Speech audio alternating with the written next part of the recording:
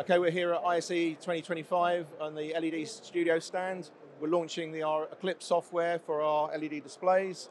We have a demonstrator here with a single panel that has uh, split power, so we have demonstration across the panel. Uh, if you remove the HDMI video signal, the left-hand side of the screen will power consumption will drop to a true zero. The right-hand side in our in our um, sensors here will show the power consumption of an LED display when it's not showing video. It looks like it's off, but really it isn't.